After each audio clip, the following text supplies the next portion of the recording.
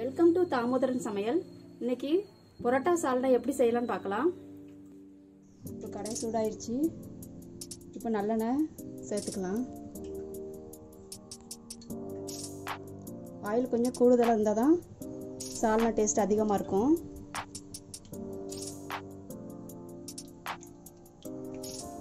நூறு எம்எல் ஊற்றிருக்கேன் நல்லெண்ணெய் நம்ம கடலெண்ணெய் கூட சேர்த்துக்கலாம். இப்போ ஆயில் ஹீட் ஆயிடுச்சு. பட்டை ரெண்டு பீஸ் கிராம்பு ஒரு மூணு எடுத்திருக்கேன். ஏலக்காய் ரெண்டு. அன்னாச்சி பூ ஒன்று கல்பாசி கொஞ்சம். இது கொஞ்சம் லைட்டாக வணக்கி விட்டுட்டு இது கூடவே கொஞ்சம் சின்ன வெங்காயம். ஒரு பத்து எண்ணிக்கை இருந்தால் போதும்.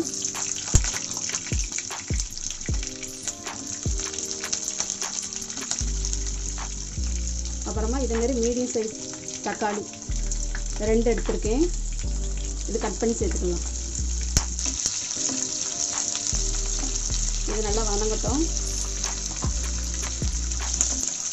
இப்போ கட் பண்ணி வச்சுருக்க தக்காளி சேர்த்துக்கலாம்.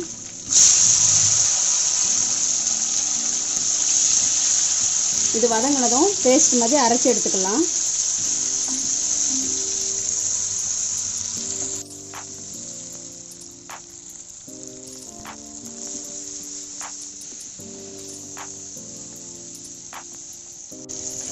இப்போ இது நல்லா வதங்கிருச்சு எடுத்துடலாம்.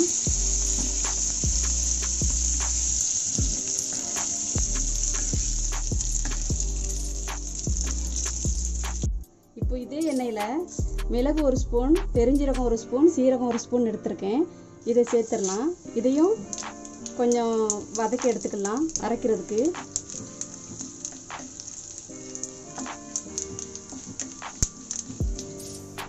இப்போ வதங்கிருச்சு எடுத்துடலாம்.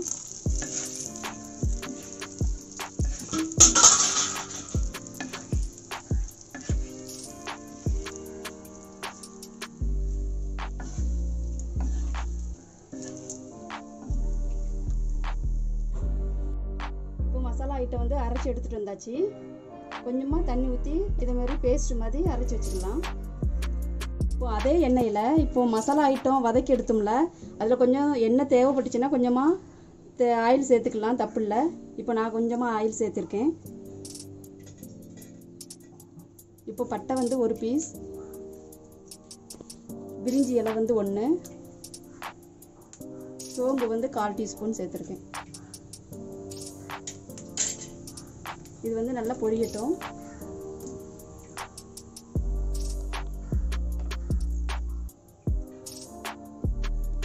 இப்போ ஆனியன் ரெண்டு ஆனியன் கட் பண்ணி வச்சுருக்கேன். அதை சேர்த்துடலாம்.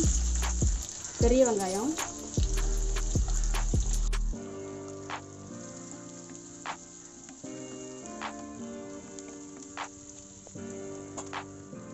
கொஞ்சம் வதங்கட்டும். இது கூடவே இஞ்சி பூண்டு பேஸ்ட் ஒரு ஸ்பூன் சேர்த்துக்கலாம்.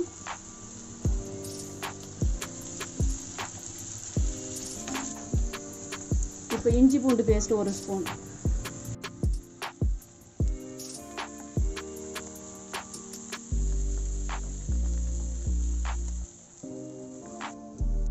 இப்போ மல்லி புதினா சேர்த்துடலாம். இப்படி ஒரு கை போட்டால் போதும். அது மல்லி புதினா. நல்லா வதக்கி விட்டுறலாம்.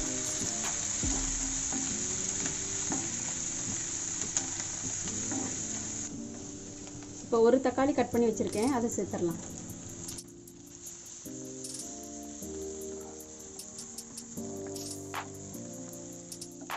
இப்போ தக்காளி நல்லா வதங்கிருச்சு. இப்போ வந்து வரமிளகாய் தூள். வரமிளகாய் தூள் ஒரு ஸ்பூன் சேர்த்துருக்கேன். அது கூடவே ஒரு ஸ்பூன் மிளகுத்தூள்.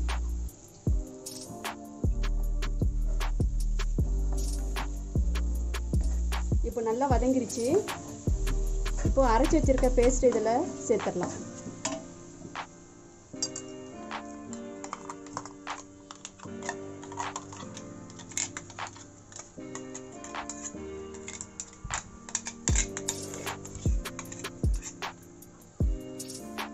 இது கூட கொஞ்சம் தண்ணி ஊற்றி சேர்த்துக்கிறேன்.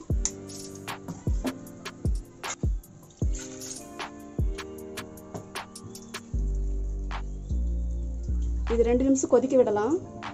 இப்போ வந்து அரை மூடி தேங்காய் எடுத்திருக்கேன். அது கூட கொஞ்சம் முந்திரி பத்துலேருந்து பன்னிரெண்டு எண்ணிக்கை வச்சுருக்கேன். இப்போ கசகசா ஒரு ஸ்பூன் எடுத்து வச்சுருக்கேன் அது வந்து ஒரு இருபது நிமிஷம் நல்லா ஊற விட்டுருக்கேன். அப்போ தான் நல்லா பேஸ்ட் மாதிரி அரைப்படும்.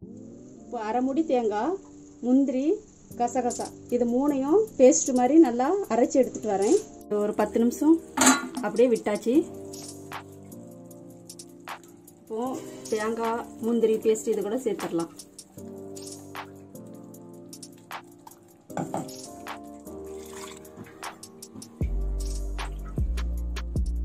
இப்போ தேங்காய் சேர்த்தாச்சு. இது கூட இப்போ ஒன்றரை கிளாஸ் தண்ணி ஊற்றினா கரெக்டாக இருக்கும்.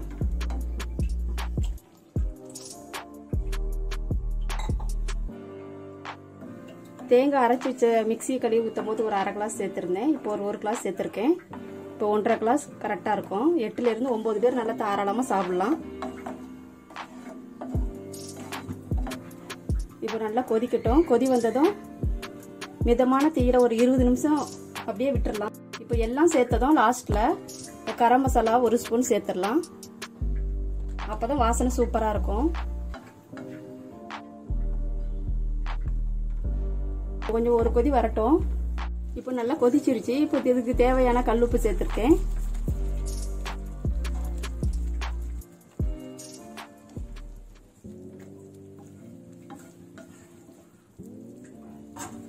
இப்போ இதை வந்து மிதமான தீயில வந்து இருபது நிமிஷம் அப்படியே விட்டுடலாம் இப்போ இருபது நிமிஷம் ஆயிடுச்சு. எப்படி வந்துருக்குன்னு பார்க்கலாம். சூப்பராக ரெடி ஆயிருக்கு. எண்ணெய்லாம் மேலே கசிஞ்சு வந்து நல்லா ரெடி ஆயிருக்கு. எப்படி வந்துருக்கு பாருங்க. சூப்பராக